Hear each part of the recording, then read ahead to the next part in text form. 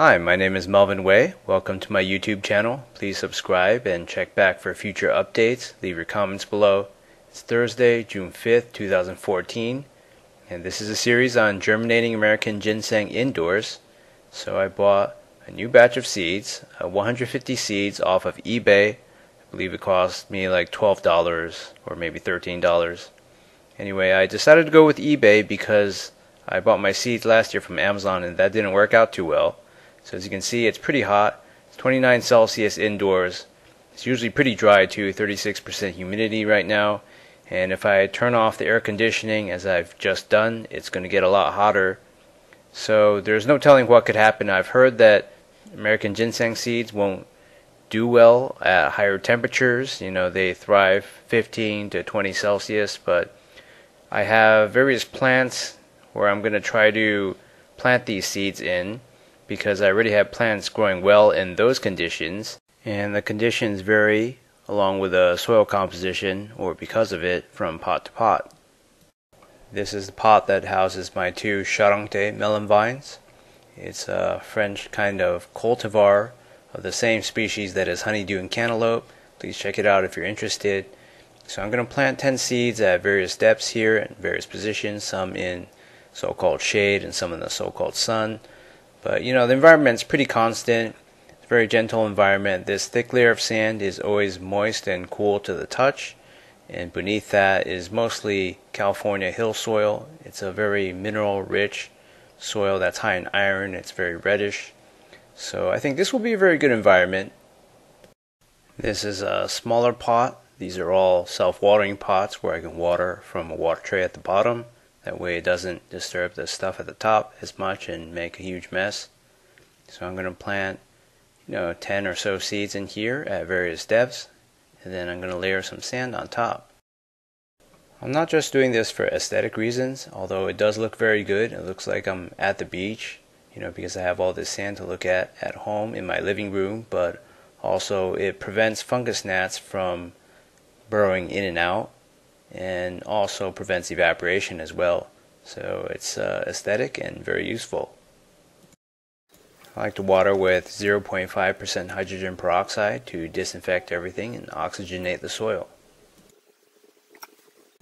This pot houses my ginger plants. There are three of them. This is my most successful plant growing series, growing ginger from rhizome cuttings. Uh, check it out if you're interested. I'm just layering on sand because I've already done the planting. I forgot to hit the record button. Sometimes stuff like that happens. So yeah, basically I chose 10 different sites around this. Uh, I think for two of them I heard thin roots snap as I was pushing. So these plants are expanding in all different directions. And you know, I was kind of uh, pushing my luck by planting these seeds here. But I figure it's a good environment. You know, it's a different kind of environment. It's lower on the sphagnum peat moss. It should be drier, and I don't water as often. Conditions are slightly different. So we'll see if this is a condition conducive to germination and American ginseng growth. It's getting even hotter with the air conditioning turned off. My bag of seeds is starting to steam up. Surprisingly, I thought they were bone dry. That gives me ideas.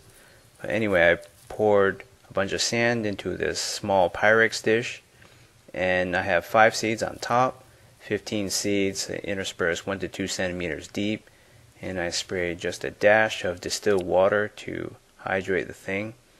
Some people have anecdotal evidence on the internet that they just left seeds in their refrigerators for a few months and good things happened. Everything germinated. So we'll see if this does anything. I put 20 seeds without adding any water, doing any disinfection or anything in a bag labeled 1 Celsius. It's going to sit right next to this Pyrex dish with the sand that's slightly moist. So it's still really hot. And I'm going to put this bag here that says 30 Celsius. I gave it some airspace, but these things have plenty of moisture as I've already shown you. And finally, for every series that I post involving seed germination, people always say that the best way to germinate seeds is to use the wet paper towel method. So I got this thing nice and moist by spraying distilled water on it. And I'm going to fold it up like this. I'm not sure if that's what they mean or that's how other people are doing it. Uh, just so I can see, I'm going to put five more seeds on the top. Put like 15 in the middle. So that's another 20 seeds devoted to this. What I'm worried about in the plastic bag is that the wet paper towel will start growing mold in as little as 24 hours. But if it doesn't, then that could be potentially a very good condition for germination. Hopefully that works. I just want one of these conditions to work.